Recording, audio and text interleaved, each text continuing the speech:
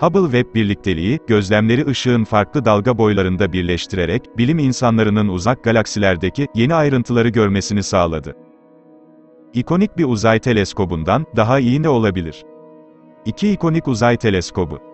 NASA, hem James Webb hem de Hubble uzay teleskoplarının, gözlemlerini birleştirerek iki uzak galaksinin, parlak, beyaz eliptik bir galaksiyle sarmal bir galaksinin, tozlu uzuvlarının daha önce hiç görülmemiş, ayrıntılarını ortaya çıkardı.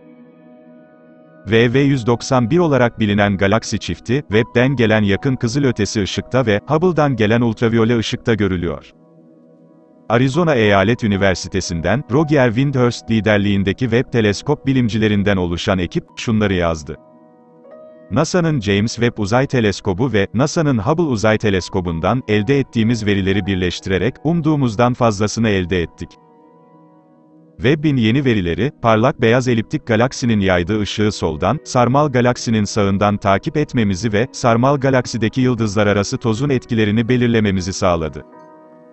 Doktor Windhurst ve meslektaşları, Webb'in sarmal galaksinin kollarındaki, yıldızlar arası tozu yakalayabilmesi sayesinde, bu kolların görüntüde çok ince ayrıntılarla, göründüğünü yazıyor. Sarmallar, beyaz eliptik galaksinin merkezi çıkıntısıyla üst üste biniyor gibi görünse de, iki galaksi aslında doğrudan etkileşime girecek kadar yakın değil. Gökbilimciler, galaksilerdeki tozu daha iyi anlamak için, VV191 gibi galaktik çiftleri inceliyor. Araştırmacılar, galaksilerde tozun nerede bulunduğunu anlamak önemli, çünkü toz, galaksilerin görüntülerinde görünen parlaklığı ve renkleri değiştirir diye yazıyor.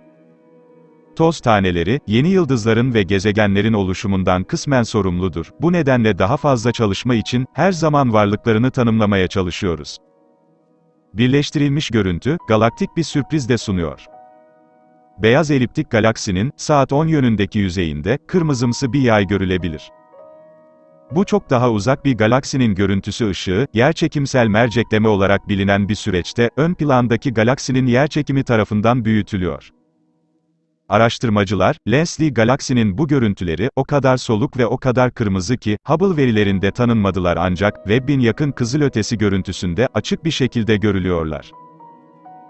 Bunun gibi yerçekimsel mercekli galaksilerin simülasyonları, bu galaksinin çekirdeğinde, ne kadar karanlık madde olduğunun yanı sıra, tek tek yıldızlarda ne kadar kütle bulunduğunu, yeniden oluşturmamızı sağlıyor.